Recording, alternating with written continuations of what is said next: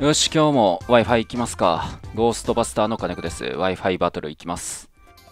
今回僕が用意してきたパーティーはこれね。フローゼルが使いたかった。そういう気分ですね。じゃあ探しましょう。本当はね、配信でやろうかなって思ったんだよ。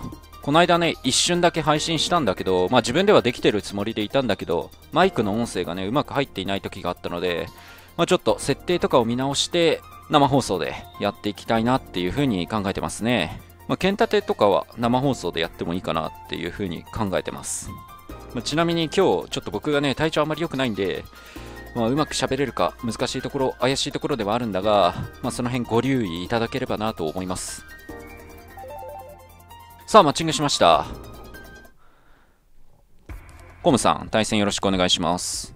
まあ、前回も戦ってくださいましたが、よし、モールスね。ちょっとキャップ今しました。よし、行きましょう。まあ、今回僕が使いたいかったのはフローゼルなんだが、まあ、相手の方、リーフィア好きなのかな？前回もリーフィア使ってましたよね。ブラッキーも、ブラッキーもいる。ブラッキー前回苦戦したんで、あれなんですけど、ハッサムが一応通りがいいかな。ただ、サーナイトが目覚めるパワー、炎を持っているし、ベトベトも大文字を覚えるので、まあ、あんまり安易に出せるポケモンではない。グライオンが怖いところもあるね、少し。まあ、ただ、フローゼル出していきたいな。フローゼルを使いたいという意図から入ってるんでね。うーん。電気タイプがいないのはいいな。電気タイプにちょっとまずいぞ。ドータくん。もうフローゼルとドータくんで攻めていこうかなって思ってます。ちょっと考えてるうちに、あれだな、時間が来てしまった。おー、サンセットコロシアム。これは僕が開放していない ステージなので、非常にありがたい。ルーキー参上。さあ、行きます。まあ、いろいろね、トレーナーのこの何にしようかを考えたんだが、おー、待って、トレースか？トレースだよな、サーナイトって。おい、スイスイトレース。まずいですよ。まあ、見てくれ、この、雨乞い入りフローゼルね。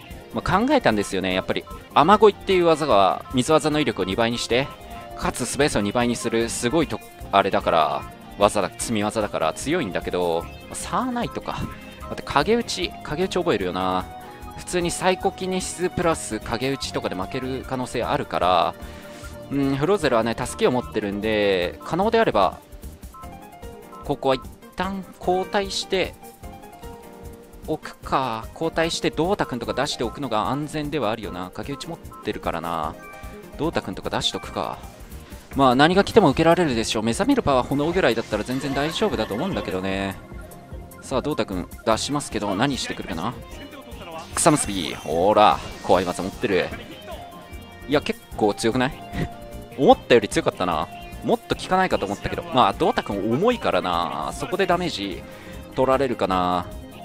まあ、目覚めるパワー炎でも大丈夫だとは思いますけど、まあ、ちなみにこのドータ君は、鉢巻きドータ君っていう方なんで、非常にね、火力がすごいジャイロボールを選択します。さあ、サーナイト引っ込む。何かな？グライオン。まあ、カポエラーじゃないだろうし、ブラッキーが無難か。そうだよね、ブラッキーか。さあ、ジャイロボールを選択。いや、まあまあまあ、ブラッキーでもな、硬いな、やっぱ。食べ残し。うーん、あくびとか展開されると切り返す術がないんだが、どうしようかな。ああ、ハッサムいるか。そう、ハッサムいるんでね、大丈夫ですよ。釣り交換されてもまたドータ君出しますか。あれ、サーナイトメガネかななんか、それぐらいの火力あるよね。草結びのダメージ。さすがにさ、ドータ君が重いと言っても、あんなに入るかなまあ、ハッサム投げます。このハッサムはワンパクハッサムなんで、眠る。あー、眠猫かなちょっと前回の話になるけど、前回のブラッキー、寝言持ってたんで、眠猫どうだデムネゴの可能性あるよね。で、誰出してくるんだろう。ここは、しかし可能であれば僕は、あー、何してくるかな。でも、これは突っ張ってこない対面だよね。受け出しができるのか。受け出すとしたらグライオンだよな。グライオン受け出しあるな。じゃあ、ポケモンを交代して、で、ただ、フローゼルにビビってグライオン出てこないか。いや、どちらにしろ、これはさ、ブラッキー引きじゃない？僕そういう風に思うんだけど。まあハッサムに対して誰を持ってきてるかだよね。グライオンじゃないとハッサム見れないと思うから。絶対ハッサムを見るためにグライオン持ってきてそうな気するんだよな。ちょっと後手に回っちゃうけどフローゼルを出しちゃおうかな。うん。まあ最悪突っ張ってきたとしても僕はじゃあグライオンがいないっていう判断してハッサムで詰めていけるなって思いますね。雨乞いをとりあえず選択してその後まあ水技とかでご利用していこうか。おおほら引いてくる引いてくる引いてくる。さあ誰でしょう？受けられるポケモンだよね。サーナイトか。うん前回草結びしてきたよね。でメガネなんじゃないかなって思ってるんだけど問題なのはさ雨波乗りでサーナイト倒せるかな？まあさすがにそれは貪欲が過ぎるよな。サーナイト特殊防御力が高いし。うーん。これは良くないサイクルが発生してるよな。しかしサーナイトか。なんだろうね。捨てだったのかな。捨て気味に出してきたって感じか。ちょっと削っておいてハッサムで安全にバレパンで倒せるようにしとくか。そうしよう。さあ何してくる？草結びじゃなく催眠術。技が外れた。危ねえ。スカーフかしかも。スカーフ催眠術か。あー危ねえ。これスイスイ発動してもなっていうところだよね。ドータ君を出すか。ドータ君を出す。ドータ君で爆発しようかな。ドータ君で受け出しして爆発しようかしら。そういうのもあるよなやっぱり。鉢巻き爆発って実質タイプ1爆発みたいなもんだろうから。ねえ。はいはいはいいいっすよ。今の危なかったな催眠術。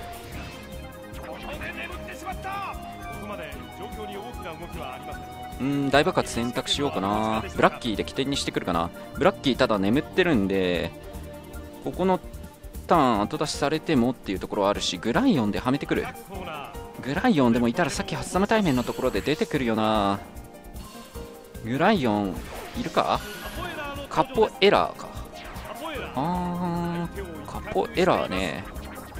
カポエラーは先制技をいっぱい持ってるから結構倒すのは大変。逆に言えばここはもうこのカポエラーさえ倒してしまえれば僕としてはさもうハッサムで詰めていけるのでここは大爆発で無理やりカポエラーを持っていくそういうのでいくか。カポエラー何してくるの？インファイトかな？インファイトだよね。はいはいまともに食らった。結構強いな。わあドータ君が防御に振っていないとこんなもんなのか。次耐えるかな？まあ相手はインファレンダーでしょうね。受からないし僕。爆発でまあこれ耐えて倒してくれたら嬉しいなっていうぐらいだけど。うん決まった。どうしようかな。これもう研磨したら勝ちじゃない。これ研磨したら勝ちじゃね？仮にさカポエラーが突っ張ってきたとしてもさあ炎のいや炎のパンチじゃ倒されない。ワンパクハッサムなんですけど炎のパンチ倒されないと思うんだよね。ていうか多分鉢巻きなんじゃないっていう可能性とあとバレットパンチ怖くないって。カポエラ3サイド。バレットパンチ怖くない？そうだよね。バレットパンチにビビって引いてくるんじゃないか？そうだよな。引いてくるよな。で何をしてくるかな？サーナイト、まあ、ここ剣の舞もあったんでもうサーナイトは倒せますね。さあ剣の舞を選択します。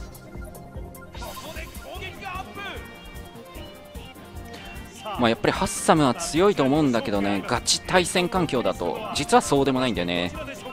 まあ、弱いポケモンに対して強いというか結構タイプはやっぱり優秀だから強いは強いんだけどあのハイスペックな他のガブリアスとかラティオスとかのハイスペックなポケモンたちと比べた時にこのハッサムっていうポケモンがちょっと見劣りするところがあるんだよねやっぱり。さあバレットパンチを選択。決まった。炎のパンチだったらどうしようかな。あのあいつがカポエラが炎のパンチを持ってて持ってるかな？この時代に炎のパンチをさ入れるかっていう話なんだよね、まあ、カポエラ威嚇で攻撃が下がるのはあれだけど虫食いから入りますか。うーん炎のパンチ炎技持ってるかどうか。大体格闘技と炎技っていうのはね範囲がかぶってるからあんまり入れないと思うんだよ炎のパンチ。虫食いします。インファイトだと思うんだよね。あ結構そういう器用なことをしてくるやつだったな。僕はなんかなんとなく鉢巻きかなって思ってたけど鉢巻きだったらさすがにもう少し銅鐸に入るか。おっと食べ残しがバレてしまった。うんハッサムが完全に刺さってましたね。虫食いします。なんだろうね持ち物カッあカウンターじゃない危ねえ。カウンター警戒しておけばよかったかな一回。やっぱワンパカスタムは高いっすね防御力。不意打ちとか持ってるかなカポエラ。いやーかっこいいじゃんモーション。あーなんか技のエフェクトは微妙じゃん。ラムの実を奪って食べる。ラムの実なんだ。まあカポエララム持たせたいよね。僕も前回カポエラあ帯だったわ。でもラムも結構悩んだところではあったね。これバレットの方が入ってた？いやー結局倒せてないから虫食いでいいかなって思ってたけど不意打ち、まあ、不意打ちも今一つなんだよね。大技とは？大技とはなんだ？まあ威力80だから大技ではあるんだけどな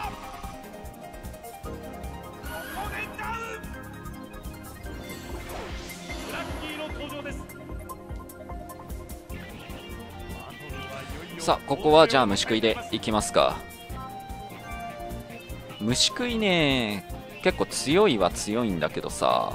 まあ結構この時代だと虫食いって強くてラムの実とかさカゴの実だとか木の実を結構持ってること多いですからね。この虫食いは威力ブラッキー強ブラッキー強くね？耐えてくるんだ。一応攻撃1段階上がってるんだけどな無振りとはいえ。それの虫食いをテクニ虫食いを耐えてくるんだタイプ1これどれぐらい入るかな？やっぱりさなぜなぜ鋼タイプは悪タイプを半減できるのか。これは疑問で仕方がないよね。もうこの時代というか第5世代までの謎ではある。なぜ鋼に悪の耐性をつけたのか。まあ虫食いで。あ虫食い虫食いじゃなくても別にいいっちゃいいのか。バレットでもよかったなうん。まあハッサムが強かった。そういう話ですね。フローゼルが使いたかったはずなのになぜかハッサムが強いという話になってるが。まあ、やっぱりハッサムっていうのは厨ポケ厨ポケですかね。厨ポケではないでしょう。フローゼルがの方がさ厨ポケだと思うんだよね。ガブリアスより速いし。冷凍ビームでガブリアス倒せるし多分。悲報30分マッチングしない。まあ、一つ言っておくと、このバトレボ、今の現代のバトレボって潜っている人、実は確認できるんですよ。サイト上で。まあ、ただ、それを見ると結構潜ってくださってる方はいるんですけど、それでも僕がマッチングしないのは、これはもう回線が弱い。それが原因なんじゃないかって思えてきましたね。まあ1時間、合計1時間分くらいは最低でも潜ろうかなと思ってるんで、1時間分経つまではもうこの状態で待機したいと思いますけど、この間 Wii が壊れたんだよね、コントローラー壊れて。だから本当は別日に潜ろうとしてたんだけど、Wii のコントローラー新しいの届くまで待って今日潜ってるわけなんですが、次はインターネット回線の問題ですかね。まあこれは次回までに解決したいと思います。